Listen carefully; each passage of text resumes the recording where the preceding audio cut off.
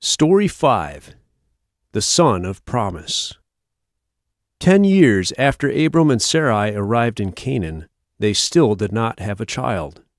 So Abram's wife, Sarai, said to him, Since God has not allowed me to have children, and now I am too old to have children, here is my servant, Hagar. Marry her also, so she can have a child for me. So Abram married Hagar. Hagar had a baby boy, and Abram named him Ishmael. But Sarai became jealous of Hagar. When Ishmael was thirteen years old, God again spoke to Abram. God said, I am God Almighty. I will make a covenant with you. Then Abram bowed to the ground. God also told Abram, You will be the father of many nations. I will give you and your descendants the land of Canaan as their possession, and I will be their God forever. You must circumcise every male in your family. Your wife Sarai will have a son. He will be the son of promise. Name him Isaac. I will make my covenant with him, and he will become a great nation. I will make Ishmael a great nation too, but my covenant will be with Isaac.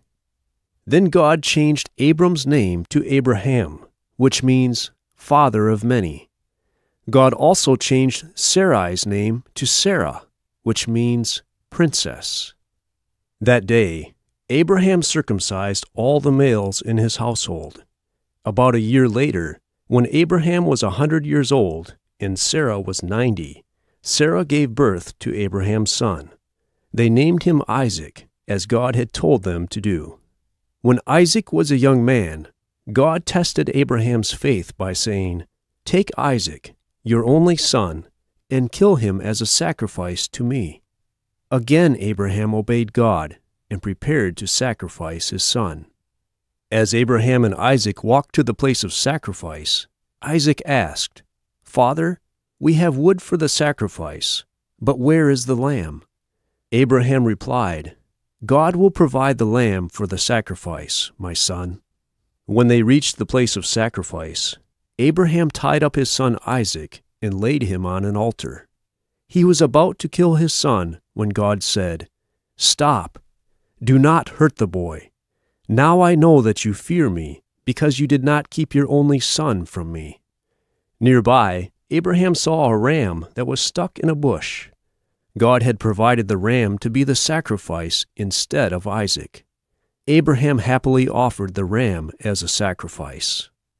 Then God said to Abraham, Because you are willing to give me everything, even your only son, I promise to bless you. Your descendants will be more than the stars in the sky. Because you have obeyed me, I will bless all the families of the world through your family.